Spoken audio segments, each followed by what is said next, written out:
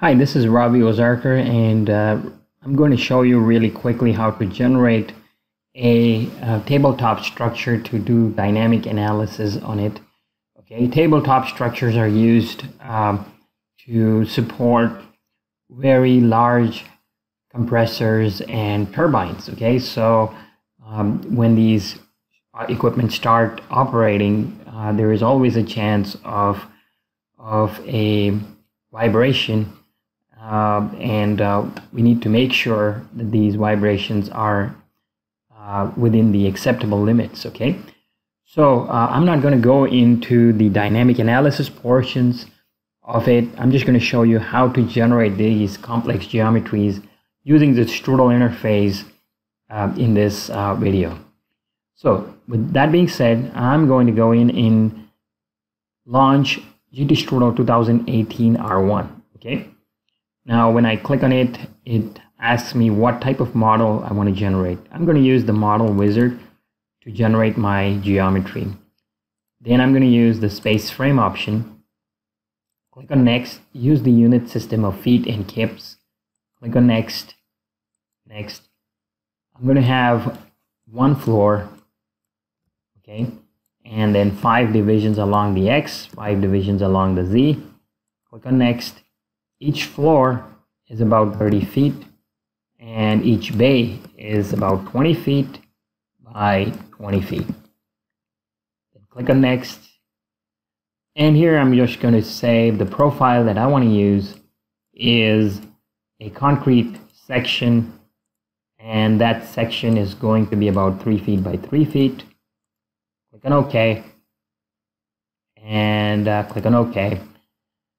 Now that section needs to be, like we're not going to have any beams in this case. So I'm just going to copy that. But since this wizard is asking me, I'm just going to supply that, uh, that same property to my X beams, Z beams, and my columns. Okay, we'll take a look at how to delete those beams later. Click on next and hit finish. That creates a framework for me to create my tabletop structure. Okay. Okay, now let's proceed to the graphics. If I go to modeling GT menu, here it'll launch uh, the graphics for STRUDL. So this is the STRUDL graphics. Uh, for people who have or who are looking at this graphics for the first time, in the center of your screen is the graphics window. Top left hand side corner, we have the menu, hence the name GT menu here. We have very limited icons, okay, necessary icons.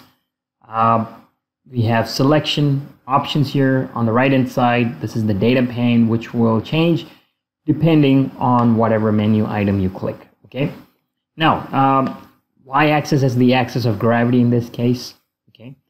Uh, people who integrate with SmartPlant 3D CADWorx structure uh, may use the z-axis as their axis of gravity, no problem. Okay, so now if I go to help, hotkey help, okay, on the left hand side you see there are several hotkeys and one of the, I use these quite a bit, okay. Uh, if I go, just click in my graphics, okay, left click in my graphics, press the I key, um, it shows me an isometric view. If I press X, Y, it'll show me an XY view. Okay, I'm just going to go to the isometric view. On the right hand side, you see views it does the same thing. Okay, so I'm just showing you some shortcuts that you can use once you start getting used to the STRUDL interface. Okay, now um, first thing that I want to do is create some plates.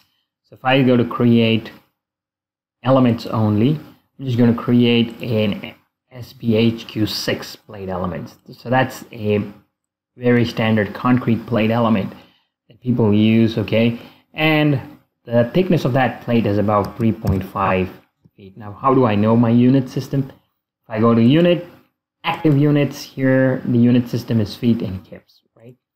So no problem. Click on generate elements. I'm just going to create a huge plate element here and decide to subdivide it, okay? There's my plate.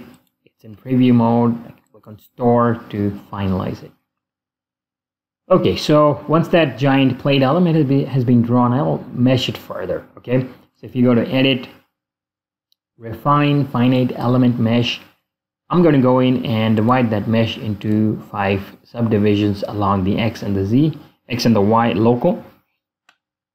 And I'm just going to say, hey, select all plates in the graphics, select everything, refine that mesh. This is a preview mode and I'm going to go and click on store to finalize that, that mesh, okay? So once that's done now, uh, I want to further subdivide it into smaller elements. I can just say select, again, all elements, select finite element analysis mesh, refine mesh, and it subdivides it into smaller pieces. Uh, now, one of the things is like there's an option to split any framing members. I'm just going to undo it. And I'm just say, going to say, okay, split any framing members. Uh, what it does is it will go in and subdivide the beams also. Although I said I'm not going to use the beams, I'm just going to show you what that feature does, okay? So if I say store, it will go in and now subdivide the beams along the edges into smaller pieces as well. So you have monolithic beam slab action. Okay, so uh, now I'm just going to go in and click on XY view. I'm going to copy this whole slab that I've drawn to the base. Okay, so I'm just going to create a mat slab. I'm just going to copy it. Okay, so if I go to edit, copy model, um, here you can just select entities to copy.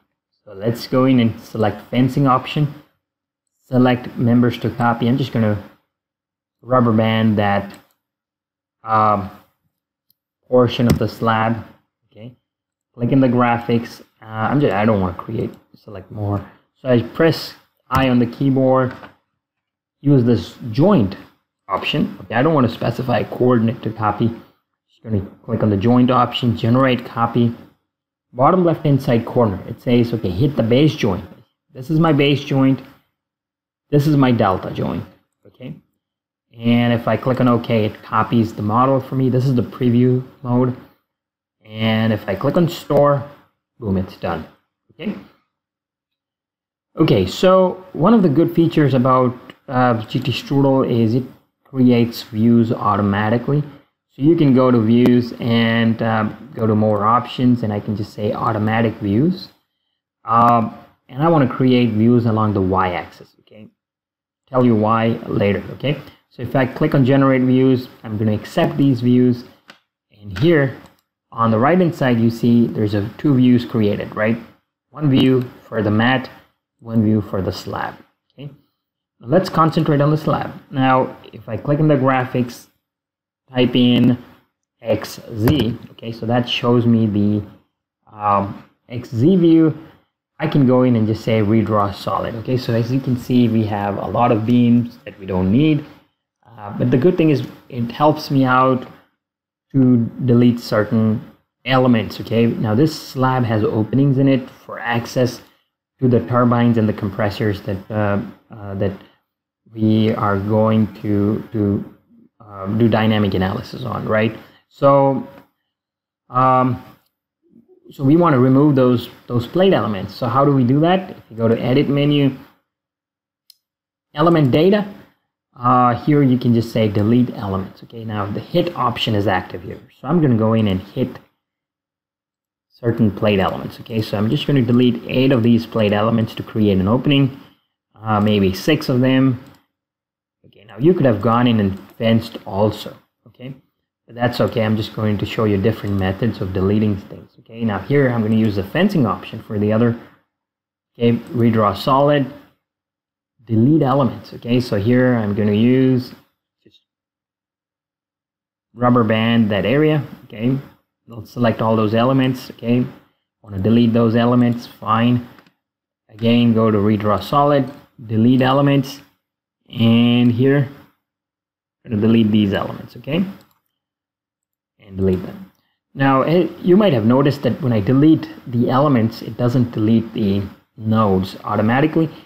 Uh, no problem. What we can do is we can go to uh, check duplicate and floating joints.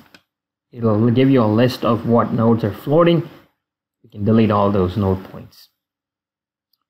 What we want to do is also delete the beams, right? So let's do that since we're in this view. I'm going to go to edit menu, member data, and uh, here I'm just going to say fence the lead members and just fence around the entire slab. Now this is in